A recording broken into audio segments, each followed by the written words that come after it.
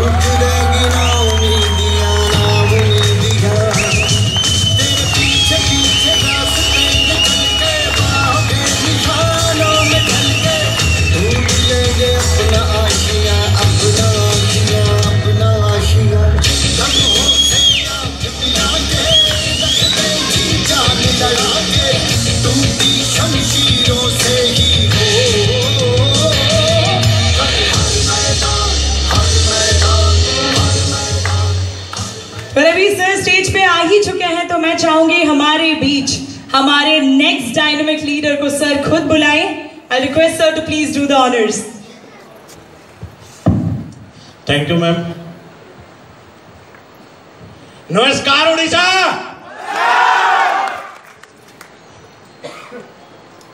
थोड़ा आगे ही आना पड़ेगा। है ना? चलिए थैंक यू वेरी मच आप सबने मेरा वेलकम किया। उसके लिए बहुत बहुत धन्यवाद देना चाहूँगा। और सबसे पहले मैं आप लोग का वेलकम भी करना चाहूँगा। आप इस इवेंट में, इस प्रोग्राम में आप आए हैं, अपना टाइम निकाल के। तो लास्ट तक मैं इतना ही कहूँगा, जब आप टाइम निकाल के आ ही चुके हैं तो अपने आप को अंत तक बना के रखिएगा, क्योंकि मज़ा तभी आता है ज़िंदगी में जब आप किसी चीज़ का रस लास्ट तक निचोड़ देते हैं। गन्ने वाला रस भी पूरा जब तक उसका खत्म नहीं हो जाता, तब तक निचोड़ता है ना? है ना? तो नहीं पता क्या हो जाएगा, क्या मिल जाएगा। मैं ज़्यादा वक्त नहीं लूँगा। हम हमारे नए चीफ, हमारे जो नेक्स्ट चीफ गेस्ट हैं, जो हमारे बीच आए हैं, और पूरा दिन भर का एक लंबा सफ़र करके गुजरात, अहमदाबाद से जहाँ की डायरेक्ट ट्रांसपोर्ट मतलब फ़्लाइट का सर्विस भी नहीं है। और फिर भी वो हमारे बीच पधारे हैं। लेकिन थोड़ा सा उनके बारे में बताना चाहूँगा आगे बात करने से पहले। एक कोरियर बॉय की ज़िंदगी से शुरुआत की थी। पाँच सौ रुपए की सैलरी के साथ एक बिज़नेस की स्टार्टअप किया था। धीरे धीरे काम करते चले गए, मेहनत करते चले गए। और आज की अगर मैं बात करूँ मिस्टर कुणाल जादव सर की, कि उन्होंने इतने कम टाइम में विद इन ओनली तीन साल एक इंसान के लिए चार पहिए लाने मुश्किल होते हैं। पहले चार छल्ले वाली जिसको हम ओडी गाड़ी के नाम से जानते हैं, पहले डेढ़ साल में उन्होंने ओडी गाड़ी ली और अभी एक जगुआर गाड़ी जस्ट अब छह महीने पहले एक करोड़ की उन्होंने एक और परचेज की एक कोरियर वो इंसान और इतनी दूर से हमारे बीच पधारे हैं और उड़ीसा में मैं काफ़ी टाइम से आता रहा हूँ। एक एक्सपीरियंस मेरा रहा है कि हमारे यहाँ आए गेस्ट का हम दिल से जितना सम्मान उड़ीसा में एक गेस्ट को मिलता है रियली मतलब काबिल तारीफ़ है। तो मैं चाहूँगा कि गुजरात से जो शख्सियत हमारे बीच पधारे हैं, पहुँचे हैं, उन्हें ये एहसास हो जाए कि हाँ उड़ीसा के बारे में जो बात बोली जाती है ना, और उड़ीसा के बारे में जो मैंने आज तक उनको बताया है कि सर यहाँ के लोग कैसे हैं, वो चीज़ उनको आपकी तालियों में और आपके मान सम्मान में और आपके रिस्पेक्ट में दिख जानी चाहिए। दिखनी चाहिए, नहीं दिखनी चाहिए? दिखनी चाहिए ना? तो जोरदार तालियों के साथ हम एक ऐसी शख्सियत को इनवाइट करने जा रहे हैं, जिन्होंने इस इंडस्ट्री का ना सिर्फ़ इतिहास बदल दिया, ना सिर्फ़ लोगों की सोच बदल दी। आज नहीं पता कितने लोग जो बेरोजगार थे, जो ज़िंदगी में था हाथ हार चुके थे, आज उन लोगों की ज़िंदगी बदल दी। एक ऐसे इंसान का और एक ऐसी शख्सियत का, दरअसल एक ऐसे भगवान का वेलकम बुलाने के लिए मुझे आप सबका सहयोग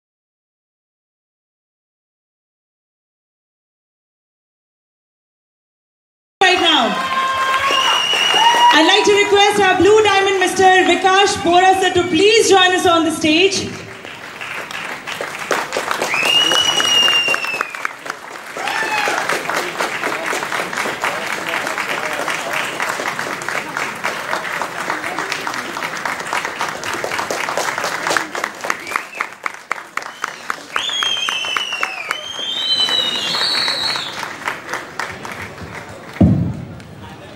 Thank you.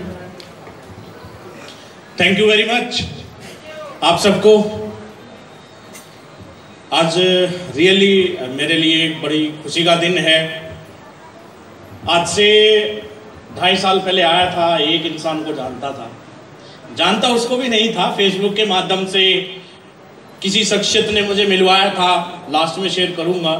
बट पहली बार आया तो किसी एक इंसान से मिला था, एक इंसान को राउरकेला में जानने लगा था। और आज उस एक इंसान के साथ आने के बाद आप सबसे मुलाकात हुई और आप सबने इतना प्यार दिया, सम्मान दिया और इतना जोरदार वेलकम किया, उसके लिए thank you thank you very much मेरा नाम विकास, रहने वाला हरियाणा, चरखी दादरी से। बाय एजुकेशन एक मैकेनिकल इंजीनियर हूँ। इंजीनियरिंग मैंने महाराष्ट्र से कंप्लीट की। मैकेनिकल इंजीनियरिंग कंप्लीट करने के बाद जॉब ऑफ़र मिला। और इंजीनियरिंग लाइफ में भी काफ़ी कुछ अचीवमेंट काफ़ी कुछ आ, कह सकते हैं कि काफ़ी कुछ गर्व के ऐसे मोमेंट्स मेरी लाइफ में रहे। इंडिया को वर्ल्ड लेवल पे मैं रिप्रेजेंट कर चुका हूँ। ऑल ओवर वर्ल्ड में मैं सेकंड रैंक होल्डर हूँ। मेरी टीम को एक एक लाख रुपए कैश प्राइज मिला था। खुद के नाम पर पेटेंट है। एक रिसर्च की थी। उस पेटेंट को फ़ाइल कर चुका हूँ। प्रोसेस लगभग ऑलमोस्ट ऑन कंप्लीट एंड होने प्रोसेस कंप्लीट होने वाली है। खुद के नाम पर पेटेंट्स हैं और अपने कॉलेज में एक रोबोटिक्स क्लब का फाउंडर हूँ, जो भी रोबोटिक्स में भी बहुत अच्छा हाथ रहा और नासा के एक टीम के साथ एक छोटे से इवेंट में एक छोटा सा इवेंट उनकी देखरेख में अटेंड करने का मौका मिला था। एक छोटे से फाउल की वजह से छूट गया, वरना शायद आज एक और उपलब्धि मैं आप लोगों के साथ शेयर कर रहा होता, क्योंकि नासा के साथ भी मैं एक टीम में वर्क कर सकता था, लेकिन एक छोटे से फाउल की वजह से वो छूट गया। बट कहते हैं जो होता है वो अच्छे के लिए होता है। ये सब करने के बाद मुझे जॉब ऑफ़र मिला था जापान से। ऑटोमोबाइल कंपनी गाड़ियाँ बनाती है और जापान टेक्नोलॉजी में हमेशा आगे रहा है। और हमेशा उस चीज़ को उन लोगों ने वेलकम किया है। तो वहाँ से मुझे जॉब ऑफ़र आया था, पाँच लाख पर मंथ मेरी सैलरी पैकेज थी। साठ लाख रुपए सालाना का मेरा पैकेज मुझे ऑफ़र किया गया कि, सर, आप हमारे साथ काम कीजिए, ये सैलरी पैकेज हम आपको देंगे। मैं इस इंडस्ट्री में क्यों आया, कैसे आया? क्योंकि यहाँ मेरे भाई, बहुत लोग ऐसे बैठे हैं जो जॉब करने वाले हैं, कहीं ना कहीं किसी इंडस्ट्री में, क्योंकि राउरकेला को सेल के तौर पे ऑल ओवर इंडिया में जाना जाता है।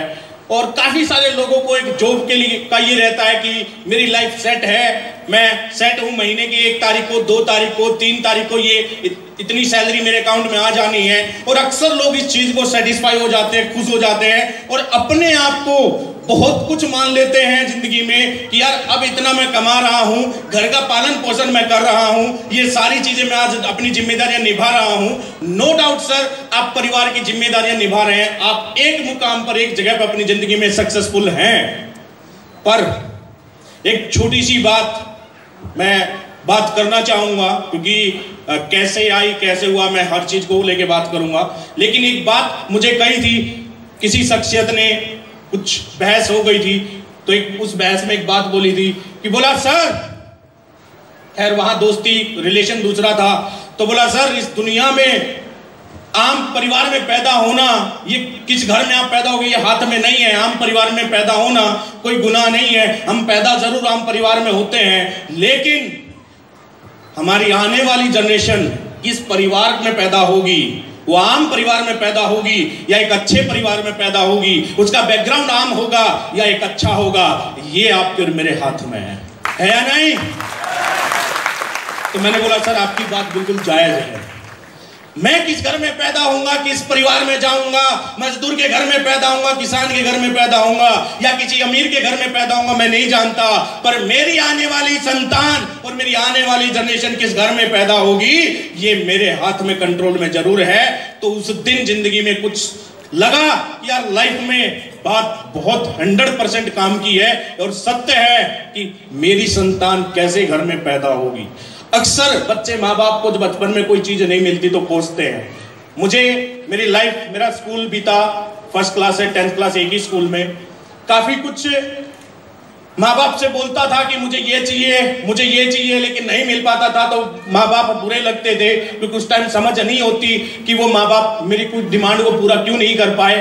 फ़र्स्ट क्लास रैंक होल्डर होने के बाद फ़र्स्ट क्लास से टेंथ क्लास तक टॉपर होने के बाद मैंने कभी ज़िंदगी में कंप्यूटर मांगा, क्योंकि उस टाइम कंप्यूटर आया था। मुझे तीन साल बाद वो कंप्यूटर मिला जब मैंने मांगा था।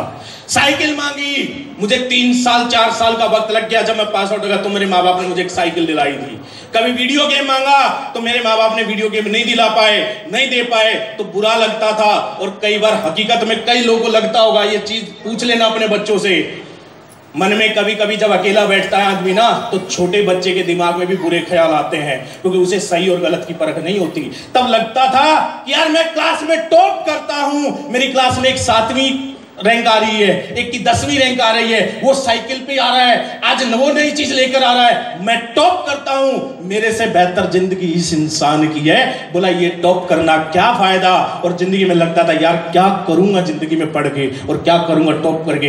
ये हर उस छोटे बच्चे की मानसिकता होती है, जो मेरी जो बनी हुई थी। होती या नहीं होती? तो उस दिन वो बात क्लिक की, लग बाय चांस, मैं भी एक अच्छी जॉब में था नॉर्मली किसी इंसान को इतनी जल्दी वैल्यू देता नहीं था, पर एक इंसान से, एक शख्सियत से, एक फेसबुक के माध्यम से, और फेसबुक तो क्या सर? ऐसे बहुत सारे लोग आप लोग बैठे हैं, कुछ लोगों को मज़ाक लग रहा होगा, कुछ लोगों को ये जो इवेंट्स होते हैं, कुछ लोग क्या सोच रहे हैं ये तो रोज होते हैं, बहुत सारी कंपनियों को देख चुके होंगे। मुझे भी मज़ाक लगता था। मेरे फादर इस बिज़नेस के लिए इतने नेगेटिव थे, इतने नेगेटिव थे कभी ज़िंदगी में, कि उनसे बड़ा नेगेटिव इस दुनिया में जहान में कोई नहीं हो सकता था। तो मैंने एक कमेंट डाला। किसी की स्टेटस को देखकर। वो कमेंट डाला किसी के स्टेटस को देखकर कि मज़ाक उड़ाने के लिए कि, सर, ऐसे बहुत सारे आए और बहुत सारे चले गए। ऐसे रोज देखते हैं। कुछ नहीं होता, सर। तो उस शख्सियत ने बोला, सर, करना ना करना बोला, मैं आपको कभी नहीं बोलूँगा। आप एक बार मिलिए। मैं उस शख्सियत से मिला। मैं कुछ नहीं जानता था, पर मैं उस शख्सियत की सोच से, उस शख्सियत की पर्सनालिटी से प्रभावित हुआ और मेरी उसके साथ बहुत अच्छी दोस्ती रही। उस दोस्ती के दौरान मेरे परिवार में एक ऐसी कुछ घटना घटी और मेरी ग्रैंड मदर नब्बे साल की एज में बीमार हुई। मेरे फैमिली डॉक्टर ने मना कर दिया कि ये ठीक नहीं हो सकती। फैमिली डॉक्टर था, इसलिए साफ़ साफ़ बोला कि आप हॉस्पिटल ले जाओ, कितने ही ले जाओ, बिल पक्का बनेगा। पर ट्रीटमेंट पॉसिबिलिटीज नहीं है चांसेस नहीं है ब्लड चढ़ा लो, कुछ भी कर लो देर आर नो चांसेस आप सेवा कर लो, बस अब इसके सिवा कोई ऑप्शन नहीं है। उस शख्सियत ने एक बात बोली कि, भाई देख, मरने के बाद एक इंसान के मुँह में घी डालते हैं बोला, ज़िंदगी में एक काम कर ले, मत करना कुछ, मुझे पता है तू भरोसा नहीं करेगा मेरे पे, क्योंकि मैं इस बिज़नेस से जुड़ रहा हूँ, जुड़ा हुआ हूँ, मैं इस बिज़नेस में काम करता हूँ, पर एक काम कर, मेरा ये प्रोडक्ट एक बार अपने घर में यूज़ करा ले, शायद कुछ अच्छा हो जाए। और उन्होंने एक प्रोडक्ट मुझे दिया, ऊपर वाले से दुआ की, और मुझे नहीं पता वो दुआ ने काम किया या उस प्रोडक्ट ने काम किया, लेकिन जिसे डॉक्टरों ने दो दिन का समय दिया था, मेरा वीडियो यूट्यूब पे ही पड़ा मिलेगा, मेरी ग्रैंड मदर का भी मिलेगा, जो उसे दो दिन का वक्त दिया था सर फरवरी 2015 की टाइम है 16 फरवरी 2015 और वो इस दुनिया से रुखसत हुई 8 जून 2017 ढाई साल। ढाई साल मेरी ग्रैंड मदर ने मेरे घर में उस डेट के बाद निकाले जिस दिन डॉक्टरों ने हाथ खड़े कर दिए थे। ढाई साल। और जब मुझे उस चीज़ का रिज़ल्ट मिला, ढाई साल मेरी ग्रैंड मदर ने कुछ, सिर्फ़ लिक्विड के अलावा कुछ नहीं खाती थी ओनली लिक्विड लेती थी, उसके अलावा कुछ नहीं खाती थी, फिर भी ढाई साल निकाला, उनकी शरीर में वो एनर्जी वो ताकत देखने को मिलती थी, जो पहले नहीं मिल रही थी, वो ढाई साल मैंने अपनी ज़िंदगी से अपनी आँखों से देखे हैं वीडियो भी मेरे पास पड़ा है। उसके बाद मैंने उस इंसान को फ़ोन किया उस इंसान को फ़ोन करने के बाद मैंने सारा सिस्टम जाना, सब कुछ समझा और जिस दिन समझा ना उस दिन समझ में आया कि यहाँ क्या सही है और क्या गलत है। आज तक बिना समझे मैंने गलत माना। क्यों? क्योंकि बहुत सारे हमारे आसपास समाज के पड़ोसी, रिश्तेदार या कोई दोस्त इस तरह के काम को करके फेल हो चुका था। पहली बार मैंने अपने माइंड को खोल के और सीखने की इच्छा ज़ाहिर की, जानने की इच्छा ज़ाहिर की और जब इसकी गहराई पता लगी और जब उनके काम के बारे में सुना, जिस मिशन के बारे में जाना, सर वो दिन है और आज का दिन है, अपनी जॉब उसी दिन क्विट की थी रेजिग्नेशन लेटर उसी दिन टाइप किया था और वो जॉब छोड़कर फुल टाइम इस बिज़नेस में आया था। डिसीज़न मुश्किल था। डिसीज़न मुश्किल था क्योंकि एक जगह मैं एक अच्छी खासी इनकम थी, एक जगह मैं अपने फ़ील्ड का मास्टर था, एक जगह मैं अपनी लाइफ में सेटल्ड था, सब कुछ था। पर वो बात जो सबसे पहली बात जो मैंने आपके साथ शेयर की ना, कि पैदा होना हमारे हाथ में नहीं है। पर हमारी संतान किस घर में पैदा होगी हमारे हाथ में है। उस दिन वो बात मेरे माइंड में क्लिक करने लगी और वो उस, वो इतना क्लिक की कि ऐसे लगा था सर में कि जैसे हथौड़े बज रहे मेरे दिमाग में। ये एहसास पहली बार हुआ था कि यार हाँ वो जो बात किसी ने बोली थी, वो सच हो सकती है। शुरुआत किया सर डिसीज़न लिया और डिसीज़न लेने के बाद में काम करते, करने लगा। लेकिन एक सबसे बड़ी प्रॉब्लम आई वो प्रॉब्लम रही। कि सर, मैं एक वेल एजुकेटेड इंजीनियर पाँच लाख की जॉब छोड़ के आया था, पर जिस इंसान के साथ मैंने इस बिज़नेस को शुरुआत किया था, वो इंसान टेंथ जब मैंने एजुकेशन देखा, उस इंसान के बारे में जाना tenth compartment twelfth compartment education की डिग्री आज तक खुद से कंप्लीट नहीं किया पेपर किसी और ने जाकर दिए हैं डिग्री लिए है तो। ऐसी सिचुएशन में लेकिन ज़िंदगी में जब ठोकरें मिली और अचीव में कुछ नहीं कर पाया, तब एहसास हुआ और जैसे एहसास हुआ, एक दिन सर के पास गया, सर, मुझे बस एक चीज़ बताओ। आप टेंथ कंपार्टमेंट हो। आप ट्वेल्थ कंपार्टमेंट हो। मैं पढ़ा लिखा हूँ। ये बिज़नेस में इस मुकाम तक कैसे आ गए मैंने सब ट्राई कर लिया। मैं पढ़ा लिखा होने के बाद भी मैं आज तक कुछ नहीं कर पाया, पर यह बात समझने में मुझे कम से कम सात से आठ महीने बीत गए।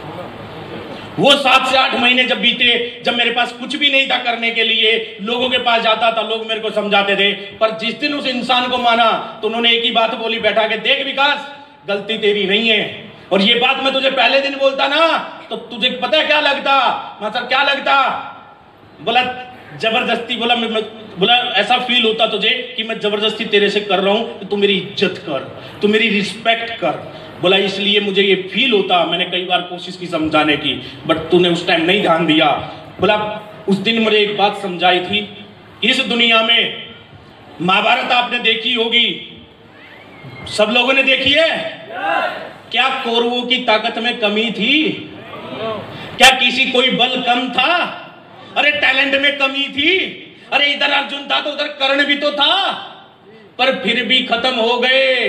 सिर्फ़ कारण एक ही था कि आप किसको मानते हो, किसकी डायरेक्शन में चलते हो और किसके, किसको ज़िंदगी में गुरु मान लेते हो। पांडवों को चलाने वाला भगवान श्री कृष्ण था और कौरवों को चलाने वाला वो डेढ़ टंगिया मामा श्री स्कूली था। था या नहीं?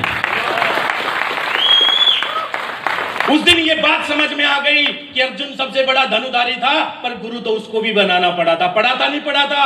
अरे भगवान श्री राम को भी गुरु माना था हनुमान ने। तभी हनुमान ज़िंदगी में कुछ कर पाया था। टैलेंट तो बचपन से था, लेकिन बिना श्री राम के वो टैलेंट ज़ीरो था। था या नहीं था? उस दिन एहसास हुआ और उस शख्सियत को ज़िंदगी में माना कि बोला, सर, आज तक जितनी गलती हुई, माफ़ी चाहता हूँ। पर आज का दिन है और ज़िंदगी में लिख लेना, जब तक अपनी सांस चलेगी, अगर गुरु मान लिया तो दिल से मान लिया। ज़िंदगी में जो बोलोगे वो करूँगा, जो बोलोगे वो होगा। आज तक माइंड चलाया था, आज के बाद ये धंधे से दिमाग खत्म कर दिया। आप बोलते जाना गाइड करते जाना मैं करता जाऊँगा और ज़िंदगी का वो दिन है। और सच्चाई है सर, अगर आज आप और हम सब बैठे हैं तो कहीं ना कहीं इसके पीछे भी हाथ उनका है। कहीं ना कहीं इसके पीछे रीजन भी उनका है। और इस शख्सियत को, इस बिज़नेस में, सर, मेरी पहली कंपनी है, यहाँ बहुत सारे लोग, भाई लोग बैठे होंगे, जो कई कंपनियाँ किए होंगे। कई सालों से ऐसी कंपनियों के प्रोग्राम देखते आ रहे होंगे।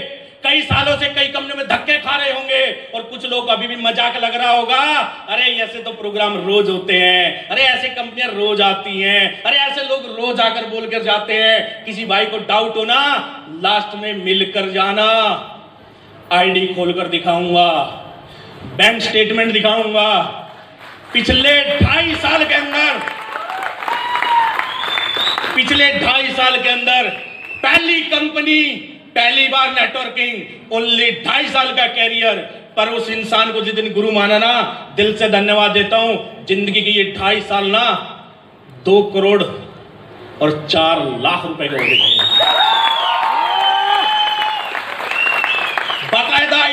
दिखाऊँगा। आज उस इंसान ने, लोग महीने में कमाते पचास हज़ार। आज उस इंसान ने इसको हफ़्ते का डेढ़ लाख का इंसान बना रखा है। पिछले वीक का चेक एक लाख पचास हज़ार। महीना साढ़े सात से आठ लाख की इनकम दिखाऊँगा। पहली बार नेटवर्किंग करने वाला लो इंसान भी इस धंधे में सक्सेस हो सकता है। बस चलाने वाला इंसान सही होना चाहिए प्लेटफॉर्म सही होना चाहिए कंपनी सही होनी चाहिए और प्रोडक्ट दमदार होना चाहिए। अरे आँखों में रोना आ जाता है जब किसी इंसान से मिलते हैं और वो इंसान बोलता है, सर मैं हर जगह धक्के खा चुका हूँ। बेंगलोर से लेके, मैंगलोर से लेके मैंने कोई हॉस्पिटल नहीं छोड़ा, मैंने कोई डॉक्टर नहीं छोड़ा। आज ज़िंदगी में उम्मीद छोड़ चुका हूँ। ऐसे ऐसे लोगों से मैं मिला और आज वो बोलते हैं कि, सर, आप नहीं होते तो शायद मेरी ज़िंदगी आज मैं उम्मीद छोड़ चुका था और शायद मेरी ज़िंदगी खत्म हो चुकी होती। आप मेरी लाइफ में भगवान बनकर आए हो। आज ऐसे ऐसे लोग को रिजल्ट्स मिले हैं, ऐसे ऐसे लोग मैंने ठीक होते हुए देखे हैं। लास्ट मैं जमशेदपुर गया हुआ था लास्ट पिछले महीने। एक फिजियोथेरेपिस्ट डॉक्टर आके बोलता है कि मुझे इतने टाइम से प्रॉब्लम थी। स्टेज की स्पीच वो आके शेयर करता है मेरे से कि सर मैं इतने टाइम से मुझे प्रॉब्लम थी पैर के अंदर में। मैं खुद डॉक्टर था ठीक नहीं कर पाया पर सर रियली मैं सल्यूट करता हूँ बोला ज़िंदगी में इस आयुर्वेद को और आपकी संस्था को जिसने इस नीयत से ये आयुर्वेद को इस मार्केट में लाया है। आज मैं बोलता हूँ सर आपके आयुर्वेद को कि ये एमबीबीएस डॉक्टर आपके प्रोडक्ट से ठीक हुआ है। सर जब सुना ना लगा ज़िंदगी में कि पैसा तो कमा रहा हूँ, पर आज ज़िंदगी सफल हो गई। पाँच लाख वहाँ भी कमा लेता, पर एक आदमी आके नहीं बोलता, सर थैंक यू सर, आपकी वजह से मेरा परिवार चलता है। सर, आपकी वजह से मेरी ये प्रॉब्लम ठीक हो गई। आप मेरी ज़िंदगी में भगवान बन के आए हो। ये आज तक कोई नहीं बोल पाता। यहाँ बहुत सारे सेल इंजीनियर सेल्स के काफ़ी अच्छे अच्छे लोग बैठे होंगे। आज तक किसी ने आके बोला, दिया थैंक यू धन्यवाद दिया। अरे, किसी ने दिल से पैर छुए। और दिल उस दिन सर आँखों से उस दिन आँखों, पानी छलक गया, आँसू आ गए। जिस दिन जब मैंने एक इंसान मेरी टीम में किसी के घर गया, और जब मैंने उसके घर में जाकर उस शख्सियत ने दिखाया अपना मंदिर, सर, इस कंपनी के संस्थापक मिस्टर संजीव कुमार जी और इस कंपनी के top leader mister Anil Puri ji, इन लोगों के फ़ोटो जब मैंने उनके मंदिर में देखे ना, सर, मैं उस दिन ज़िंदगी में ऊपर से नीचे तक हिल गया कि ऐसे भी काम इस दुनिया में होता है और इतनी दुआ और मान सम्मान भी इस दुनिया में मिलता है। और ये दुआ, सर, आप किसी को एक करोड़ दे दो, दस करोड़ दे दो। क्या आपकी फ़ोटो मंदिर में लगाएगा? लगाएगा! वाले नहीं मिलते क्या? मंदिरों में लिखा होता है ना, इतने लाख का दान, इतने का दान, इतने का दान। एक मंदिर बता दो जहाँ उसकी फ़ोटो लगी हो, दान देने वाले इंसान की। लोगों को दान देते हैं। एक घर बता दो जिसके अंदर किसी इंसान की फ़ोटो लगी हो। पहली बार ऐसा प्लेटफॉर्म ज़िंदगी में मिला कि मैंने लाइव देखा अपनी आँखों से कि लोगों को भी इस दुनिया में पूजा जाता है आज।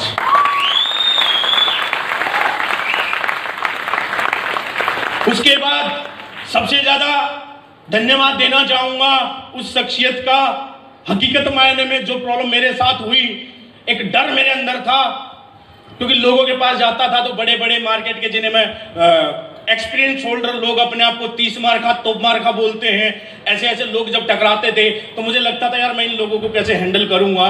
लग बाई चांस अनिल गुरी जी जिन्होंने मेरी ज़िंदगी बदली, जिन शख्सियत के बारे में अब तक मैं नाम ले रहा था, उन शख्सियत ने मुझे कॉन्टेक्ट दिया राउरकेला से, और मुझे बताया कि सर, ये एक शख्सियत है, और कई सालों से इस इंडस्ट्री में हैं। तो मैंने सबसे पहले सर से पूछा, सर, उम्र क्या होगी इनकी?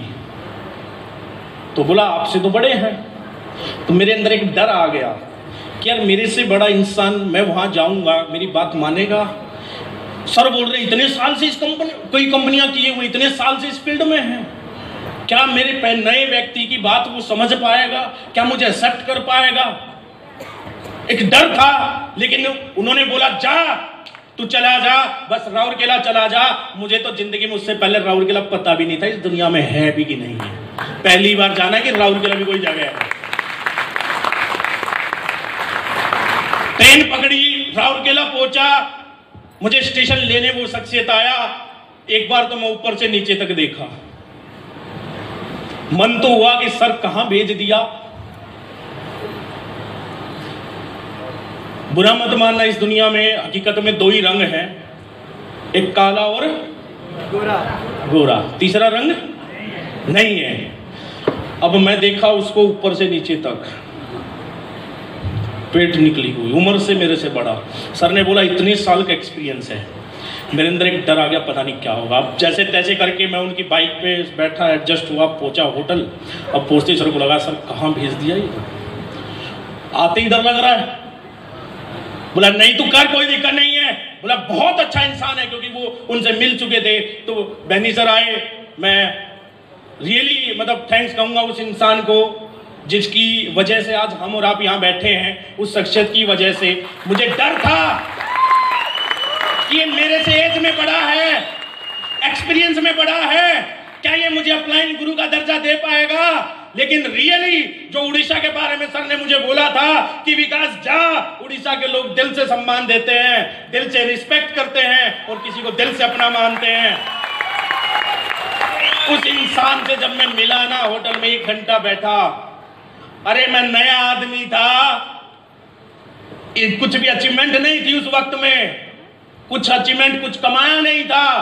पर उस इंसान ने मुझे वो इज़्ज़त दी। उस इंसान ने मुझे वो रिस्पेक्ट दी। और रियली मैं धन्यवाद करूँगा। उस इंसान का दिल से, उस इंसान ने मेरा दिल जीत लिया।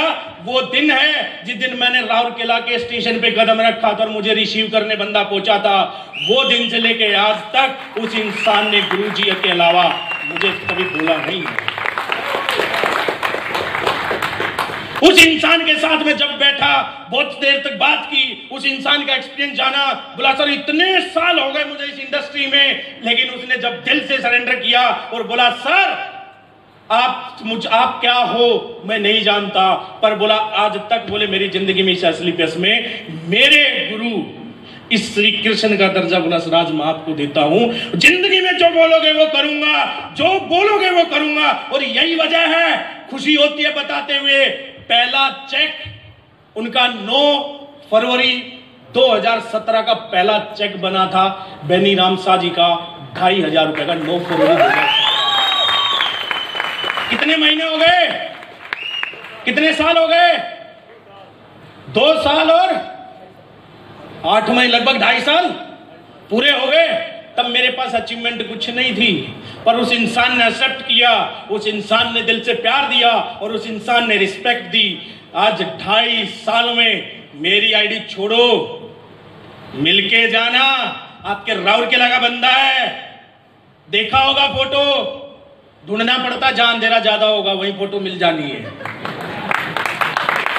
देखा है? लेकिन इस ढाई साल में उस शख्सियत ने इसी प्लेटफॉर्म से और आपके लोकल यही मेहनत करके यहाँ से टोटल इनकम अट्ठावन लाख रुपए ढाई साल में कमाया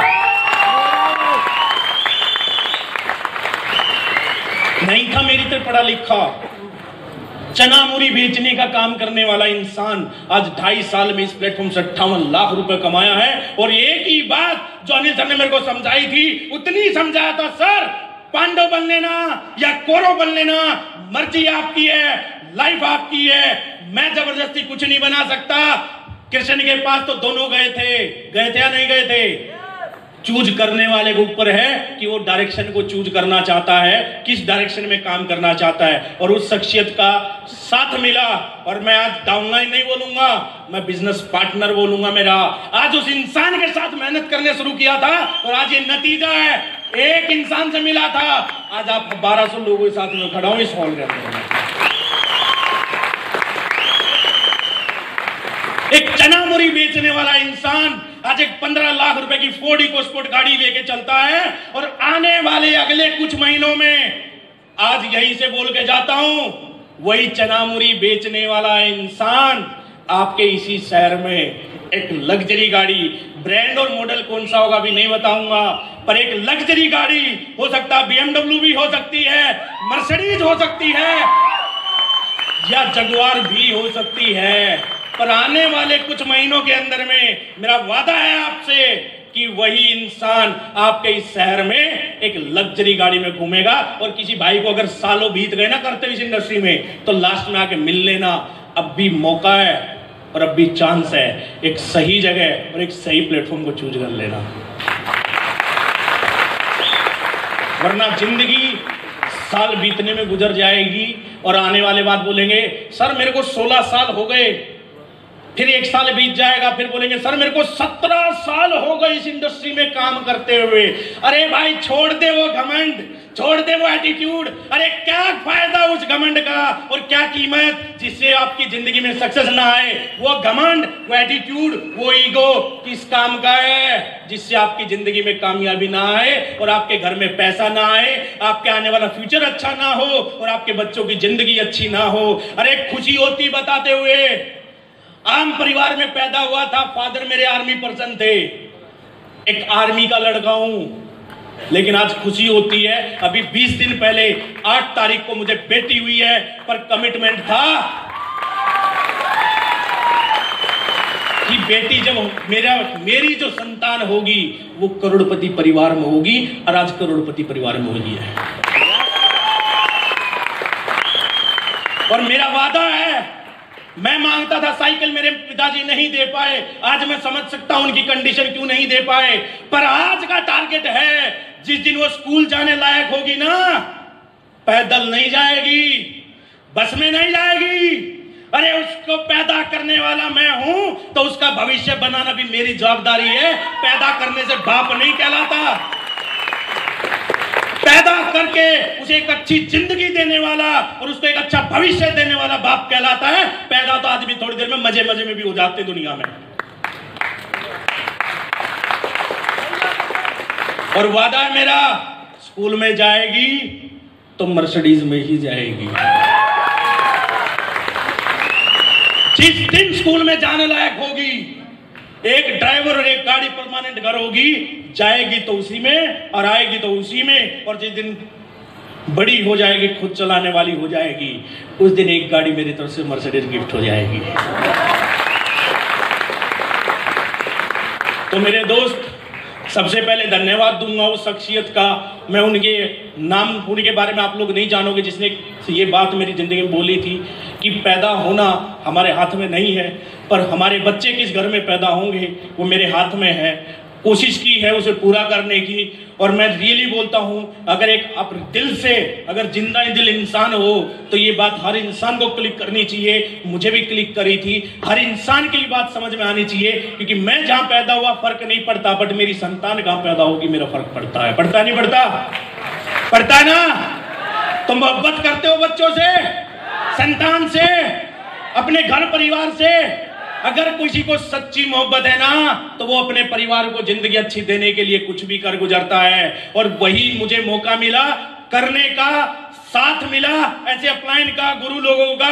सर, दिल से thank you thank you very much जो इंसान आपकी सोच बदल दे, जो आपकी दिशा बदल दे और जो आपकी दशा बदल दे, सर मैं आपसे इतना ही कहूँगा, वो इंसान इस दुनिया में भगवान का दर्जा रखता है और मेरी सोच और दिशा बदल दी। सर, कंपनी के top mister Anil Puri sir ने और एक शख्सियत मिले। मिस्टर कुणाल जाधव जी, एक स्पीच इन्होंने दी थी। वो स्पीच मुझे हमेशा याद रहती है और लास्ट शेयर करना चाहूँगा। क्योंकि इस दुनिया में सक्सेस का वो रियल में मूल मंत्र है।